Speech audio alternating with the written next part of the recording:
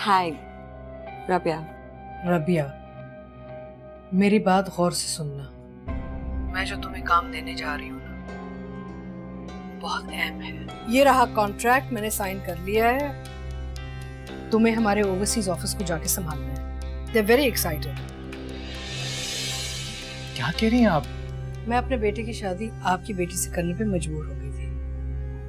और आपकी मजबूरी ये थी कि आप अपनी बेटी की किसी अमीर तरीन लड़के से शादी करवा दें, ताकि आपकी दूसरी बेटी का इलाज हो जाए, है ना? क्या समझ रखा है? प्राइवेट अस्पताल में रखा है। निकाले उसे उधर से और खराती अस्पताल में डाले ना।